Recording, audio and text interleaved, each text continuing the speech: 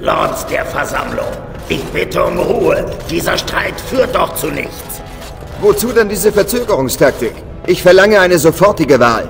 Mein Vater hatte einen Sohn und der gedenkt, den Thron der Edukens zu besteigen.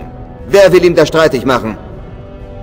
Euer Vater ließ mich an seinem Totenbett schwören, zu verhindern, dass ihr sein Nachfolger werdet. Bitte entschuldigt die Unterbrechung, Lord Seneschall, aber der graue Wächter ist zurück. Wir sollten den Wächter sprechen lassen. Welche Neuigkeiten bringt ihr?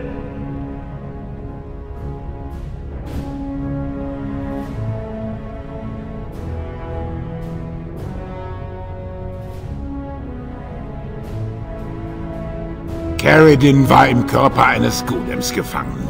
Dieser Wächter erwies ihm die Gnade, nach der er sich sehnte, befreite ihn und zerstörte den Amboss der Lehre. Vor seinem Tod schmiedete Caridin eine Krone für den nächsten König von Osama, auserwählt von den Ahnen selbst.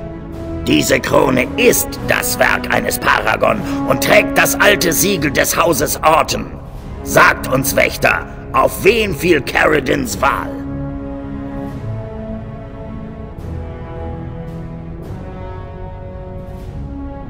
Wir haben in diesen Hallen schon zu lange debattiert. Es ist der Wille des Paragons, dass der graue Wächter die Entscheidung trifft. Ich schätze eure aufrechte Gesinnung, Wächter. Ihr habt euch in diesem quälenden Prozess stets ehrbar verhalten.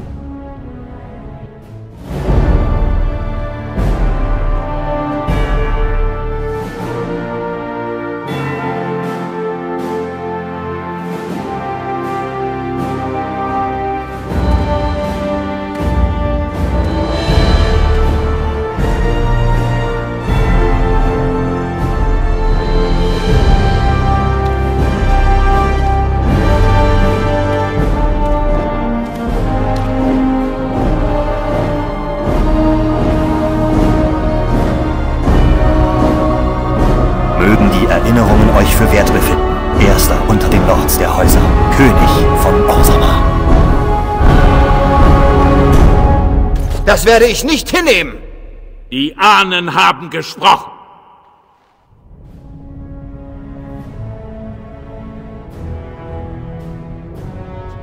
Soll ein Oberflächler das Schicksal der Zwerge bestimmen? Vorsicht! Sie sind bewaffnet! Wachen! Meine Wächter